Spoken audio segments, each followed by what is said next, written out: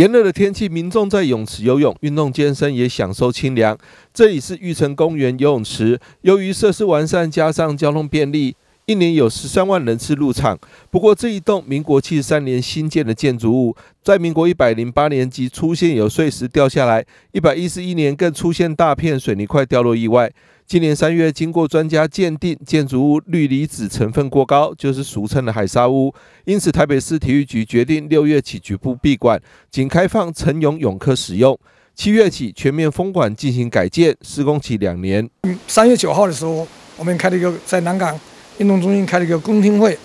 那公听会的呃里面的呃大大多数人的决议啊，就是也是倾向于重建，因为它重建的这个补强的。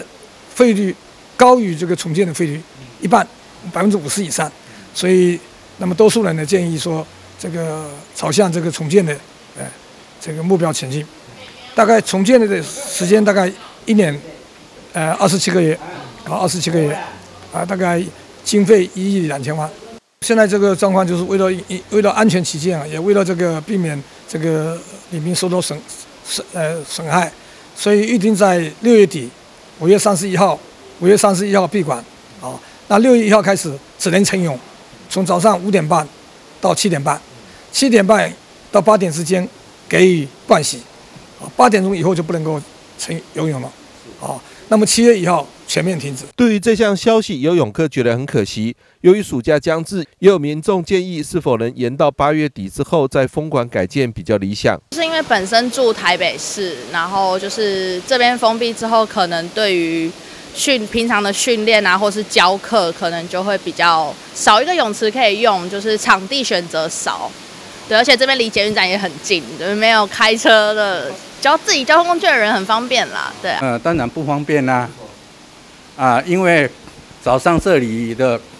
游泳设备这里算很好的设备啊，没有我们就要另找地方，那就造成很多尤其晨泳的啦，哦哦，尤其暑假到了，协同他们要跑去哪里？哦，是这个地方。哦，对啊，因为你看七八月就是儿童最想玩水游泳的地方啊，这里设备大概台北是最好的地方。哎，所以应当最好是延到八月底之后，哦，让孩童有一个很好的去处，那是比较理想。为了让民众在玉成公园游泳池改建期间能有其他可替代游泳运动场所，台北市体育局方面已经协调邻近承德国中、南港运动中心、内湖运动中心、松山运动中心、信义运动中心、大湖公园游泳池及三名公园游泳池这七处地点作为替代方案。并提供公益时段和敬老卡扣点服务，方便民众前往。记者张启腾台北报道。